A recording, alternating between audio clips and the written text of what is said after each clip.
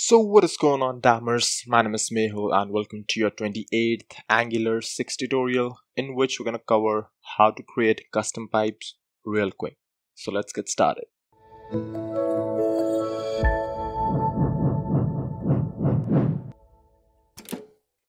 Alright, so we already covered about pipes that there are, there can be two types of pipes um, inbuilt which we looked at in the last video and custom pipes inbuilt could be any one of these and custom.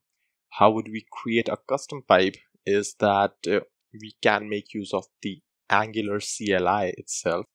So what I can do is right here if I do something like ng generate pipe and let's just say um, I just say I want to generate a pipe which which let's say uh, what it does.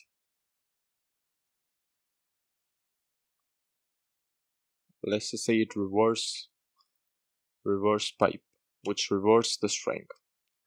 Right so we generated this pipe. What it did is that it created two files spec file and the actual file and it added that to the module.ts file. So let's just see what changes module.ts contains now you can see that declaration has reverse pipe in it now. And as you can see we did a fundamental mistake that is writing pipe in the name of pipe because angular also does that. So let's just quickly remove that. And let's just remove our pipe as well. Who wants a reverse pipe dot pipe? And there we let's just give it one more shot. Ng generate pipe. Reverse which creates a reverse pipe for us. There we go. And now if we take a look inside this reverse pipe.ts you can see that uh, we get this function automatically created for us which is a transform function. So let's just see what is happening here. If I console log this value and arguments let's just say I get this arguments like this. And arguments right? Now let's just include this pipe make use of this right here. So the name of my pipe here is reverse. So what I'm gonna do is uh, I'm gonna write something like um, this is a test string and this is another test string. Well let's just give it some BRs and I guess we can just make it XML valid. Anyways it does not matter. So now what I'm gonna do is right here write this in quotes and pipe it with reverse. Let's just see what happens. You can see that we do not get that text. Now the reason why do not why we do not get that text is that whatever you return from this transform function would be actually the new value which this interpolation displays. So for example, if I return um, codedamn here, right, you can see that codedamn is displayed here. So whatever you return from the transform function would be displayed. Now if we go to console here, you can see that in console, we do get this is another test string and an array of elements no element a length zero array. So what we want to do is actually give it some options. So let's just say um, we do give it options like true something like this and uh, let's just say I give it quote or let's just say single something like that.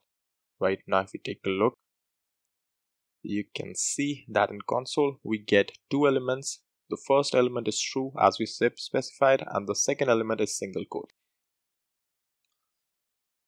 so what i'm gonna do with these values is that i'm just gonna say that if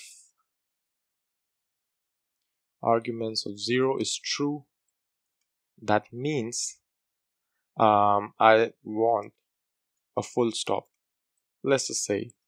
So I'm just gonna create a new string here let new string is this. So I'm just gonna say uh, new string is value. I'm gonna say new string plus equals to a full stop right? And then the second thing we have is a single quote. So I can say if args1 is equal to single quote then what I want is new string is equal to a single quote plus new string. Else if args1 is double quote then I want new string is double quotes plus a new string. Simple enough and now I can just pretty much return this new string and take a look in the browser.